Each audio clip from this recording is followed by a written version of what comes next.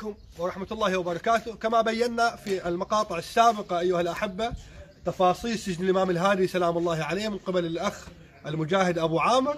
الآن نشاهد حجرة الإمام التي كان يسجن بها سلام الله عليه مع توضيح بسيط لهذا المكان طبعا هذا المكان الآن كما هو ظاهر أمامكم درج. إلى الأسفل. طبعا وجود إنارة الآن في هذا المكان سابقا كان المكان يعني مظلم بحيث إنه العين تتبع النور. إذا كان هذه أضوية ما موجودة ممكن إنه نطفي هذا الضوء من ننزل جوا. راح تلاحظون إنه هذا المكان أظلم فقط النور هنا وفي نهاية هذا المكان. وطبعا هذا ما كان يخلو من هذا هذا الشيء ما كان يخلو من خباثة من قبل القائمين على سجن الإمام سلام الله عليه وهو التمويه عن سجن الإمام الهادي سلام الله عليه. بحيث إذا بقيت العين تتبع النور مباشرة تخرج في نهاية هذا الممر إلى النهاية. تصل إلى ذلك المكان وهو السجن العام ولا يلاحظ شيء ابدا. ولكن بواقع الأمر بواقع الأمر إنه حجرة الإمام الهادي سلام الله عليه إحنا عبرناها بالواقع. والدليل على ذلك إن الحجرة كانت في زاوية هذا الممر هذه الحجرة كما تشاهدون أيها الأحبة هي الحجرة التي كان يسجن بها الإمام الهادي سلام الله عليه. ممكن أن تشاهدون هذه الحجرة التي كان يسجن بها الإمام سلام الله عليه لسنين طويلة سجن الإمام الهادي بهذه الحجرة.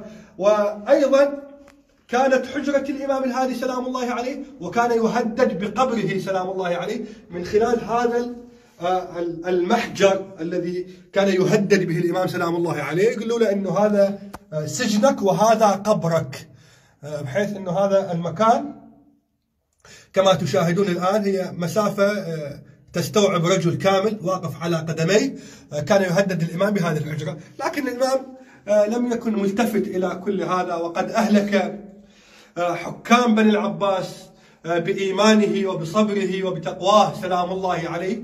وكان لا ينظر إلا إلى الله سبحانه وتعالى باعتبار أن المكان عند أولياء الله عند أئمة آل البيت صلوات الله عليهم أجمعين. أينما وجدوا في مكان فهو مكان لله سبحانه وتعالى وهذه الحجرة التي كان يسجن بها إمامنا سلام الله عليه إمامنا الهادي بأبي وأمي سائلين الباري عز وجل أن يمن علينا وعليكم بشفاعته وشفاعة أجداده وحفيده القائم سلام الله عليه. ممكن حتى نوضح أنه هذه الإنارة إذا أخفيت تلاحظون؟ كذلك.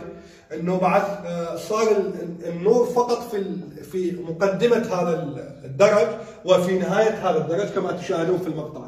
بحيث إذا بدون أنوار نزل الإنسان مباشرة راح يطلع إلى المكان وتلاحظ أن الحجرة مخفية وغير ظاهرة. وكان الإمام في سجن انفرادي يخشون من الإمام أن يثقف السجناء وأن يغير أحوال السجناء. فسلام عليه يوم ولد ويوم استشهد.